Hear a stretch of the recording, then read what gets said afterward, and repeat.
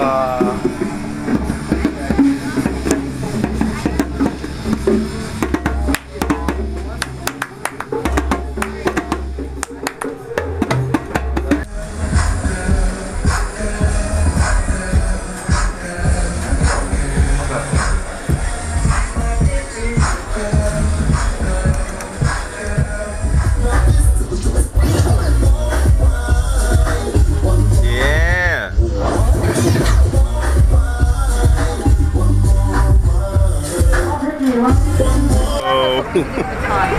Oh. Spider Man.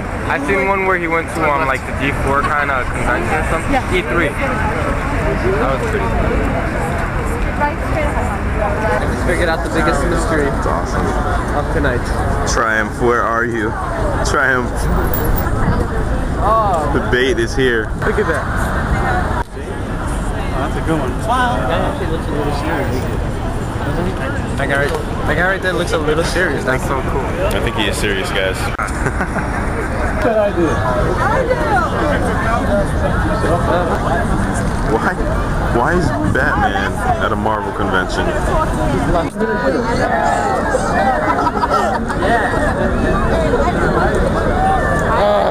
The, grip on them to make them look like they're actually like, oh man, they broke.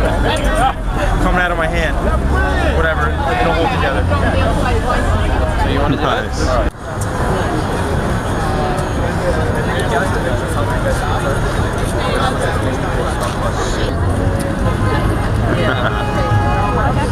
Oh, in New York City with Batman. Army, sir, you're here in Gotham City. Gotham City. My Check your map. You know, I am kind of lost today. That's all right. No That's all right. So tell me, Batman. Yeah. Tell me about Gotham City and how you protect it. Gotham City is one hell of a place. Yeah. It's uh, it's dirty, it's nitty, it's gritty.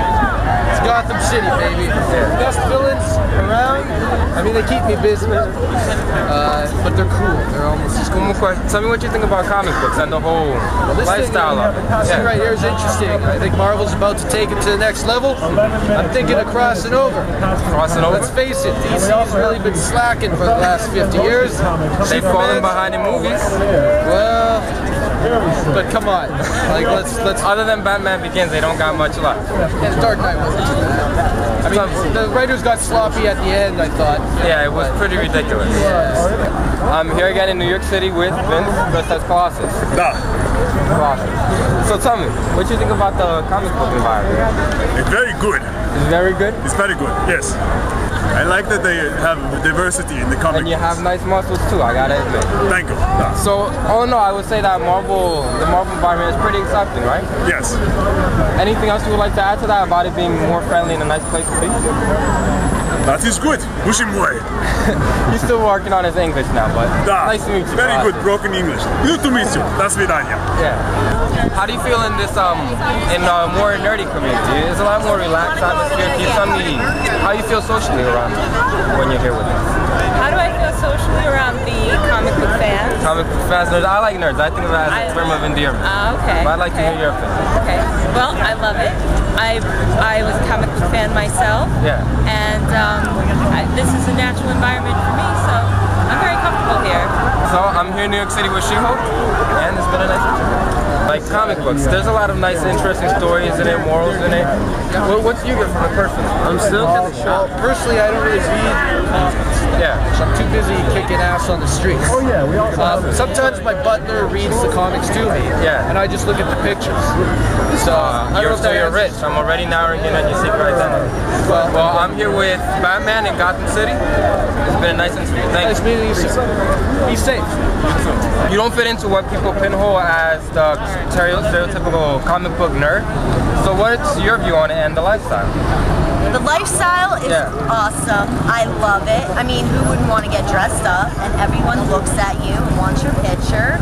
And Yeah. it's fun. It's exciting. I love Comic Cons. So do I. So Yeah. do I. She wants a shot. Two, one, three, four, four. Here's my file. This is this. Thank you.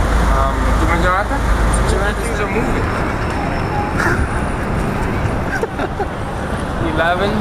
11, 10, 09. uh, game Call of Duty 5. Yeah, no, we'll leave out. We like, you know,